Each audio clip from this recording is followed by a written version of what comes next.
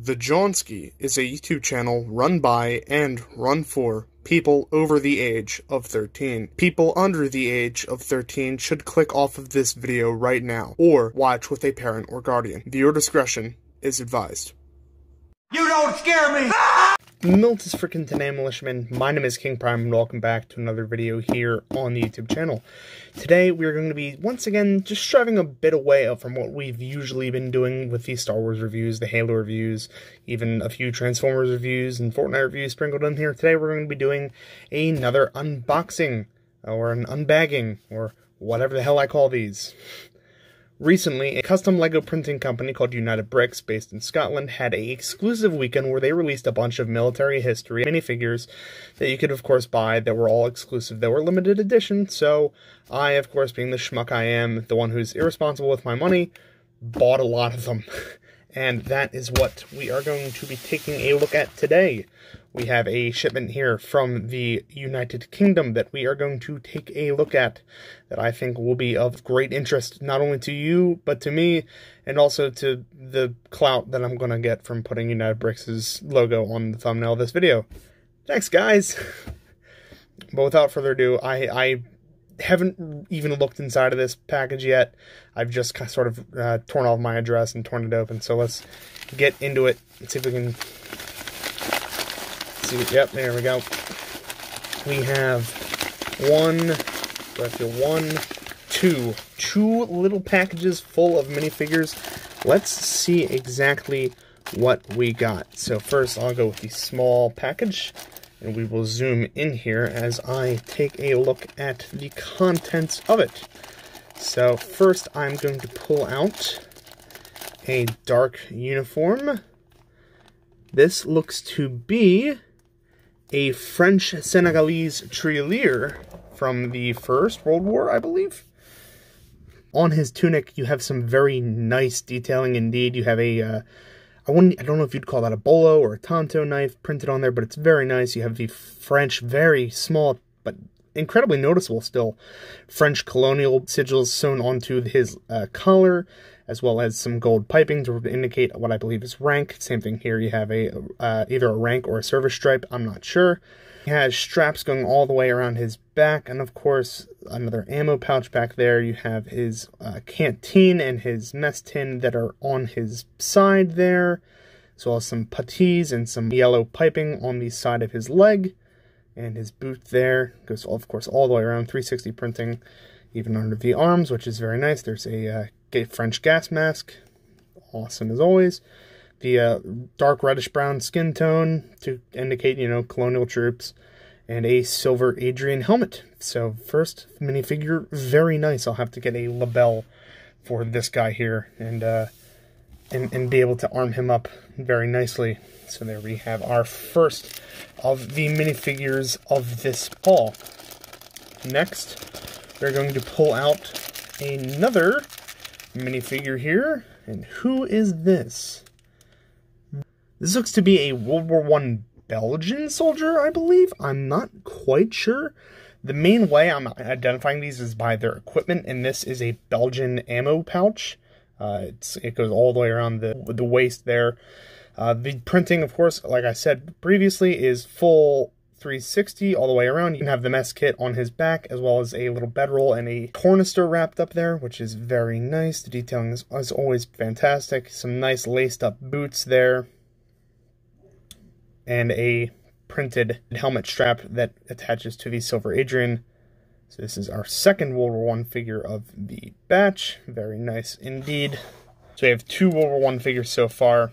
And our final figure for this bag is going to be the... Whoa, that's interesting. And new to me, this looks to be the War of 1812 uh, American or U.S. Army soldier, which is very nice. I don't have any War of 1812 figures, uh, and this is my first one. He has some very, uh, very deep sideburns there, as you can tell. He's he's, he's definitely uh, grown them out for a few, a few, days. Detail on his collar, of course, the red, white, and blue that we are used to for uh, turn of the century American soldiers. Very nice all around. Even the sewn detail on the facing on his cuffs there You have a nice U.S. Tornister as well as his ammunition box and other gear like his canteen on his back. Course, his coattails are actually printed onto his legs, which is a very nice detail as well. And the white belt continues all the way around. The satchel there was all the way around. So, you know, even though it's 2D printed, this guy is fully geared up for war.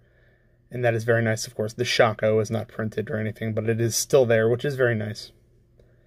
Overall, this is a beautiful looking minifigure, and uh, one I'm very happy to have, because I didn't have any War of 1812 minifigures before this one, so I'm happy to have this in the collection. So we have now uh, one African soldier, one European, and one American. That brings us to bag number two, and there are many, many more minifigures to go in this sort of unboxing that we're going to do here as I struggle with this bag. So first of all, first thing I'm going to pull out is the brick badge that you get for Weekend Blitz, which is the event's name. I failed to pronounce it correctly earlier, but that's what it is called. Uh, this is my second one. I have one for Weekend Blitz 3, and I think you get this if you spend like over um, $40, I'm pretty sure. I'm, I'm not quite sure, but I spent way more than that, so I got one of these, which is good. So I have that printed piece in my collection now, which is very nice. But what is also in my collection now is the next minifigure, which is looking to be... Let me just unbag him here. But I already know who this is. Our World War One Portuguese soldier with a very nice OD green Brodie helmet uh, in in standing in for the uh, Portuguese helmet, which is not yet existing as far as I'm aware in Brick Arms. So overall, this figure is very nice. He has a Portuguese tunic. You can tell because of the high collar right there that is printed on, as well as the British equipment that he's using. The bayonet attached to his leg. All, yep, completely British kit except for the tunic, which is Portuguese model. Has some very nice uh, mud printing on the puttees and his boots as well. Very nice. So this is going to bring us to three World War One figures and one War of 1812 figure for the lot. So that's very, very interesting. Let's put him with his compatriots down there. I'm pretty sure this is going to be a big day for the Entente uh, forces in my collection.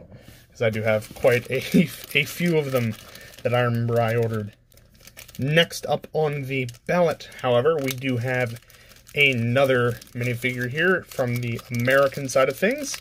That being the Boxer Rebellion, uh, United States Marine. Let me get his hat on there real quick.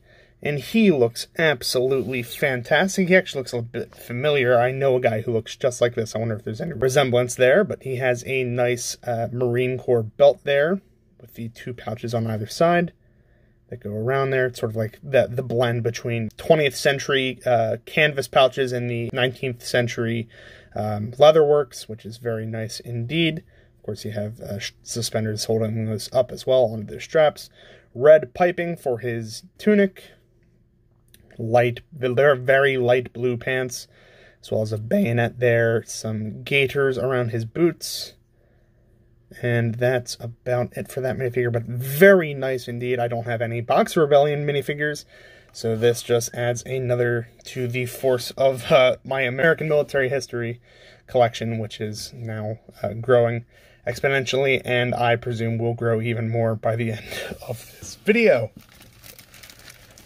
Speaking of American military forces, our next minifigure is, if you can believe it, a World War One American Doughboy uh, Browning automatic rifle gunner, or bar gunner.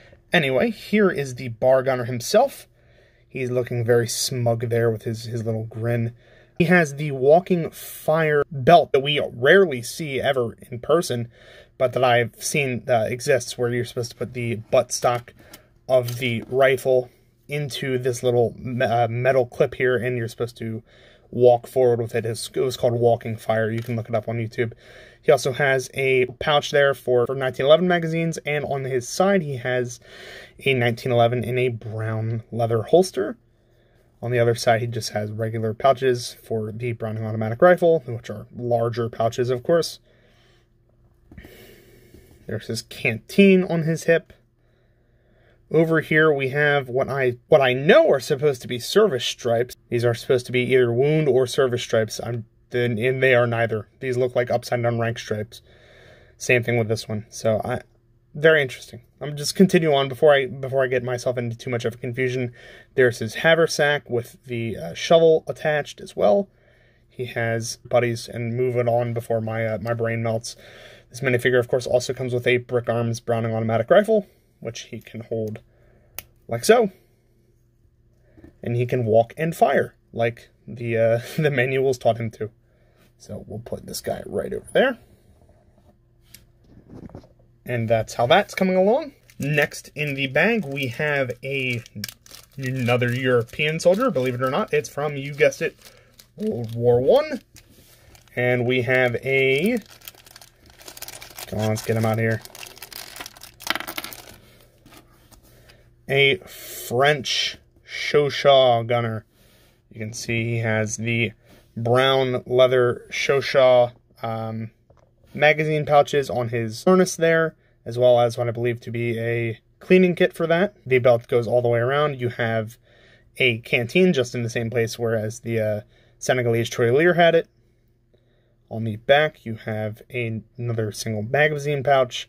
On his legs, you have the printed overcoat, which continues down onto his legs, of course, like I said earlier and his puttees, which are tied up nice and tight there, and some mud on his black boots, which is very nice looking.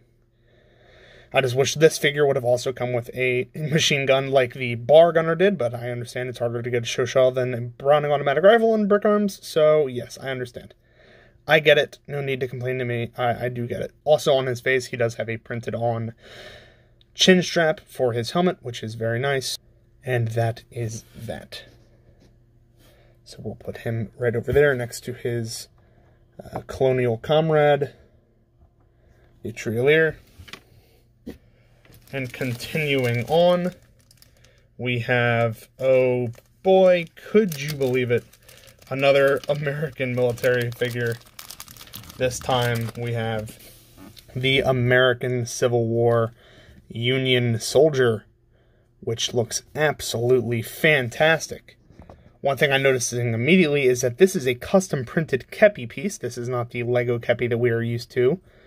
This is completely a completely custom printed element with some nice detailing like uh, fabric on there.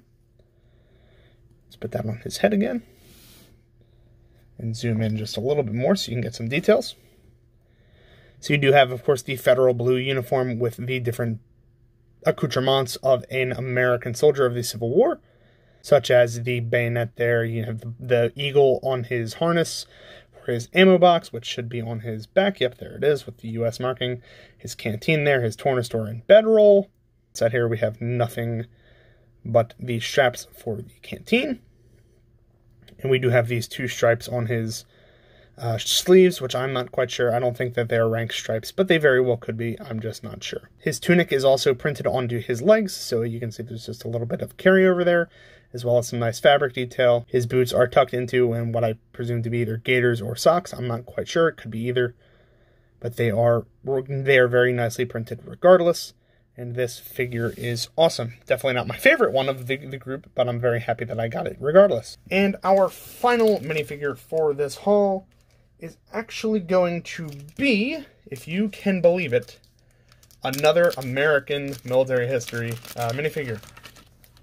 This time, however, we have a Continental Army soldier with a tricorn hat. Let's zoom in a little bit.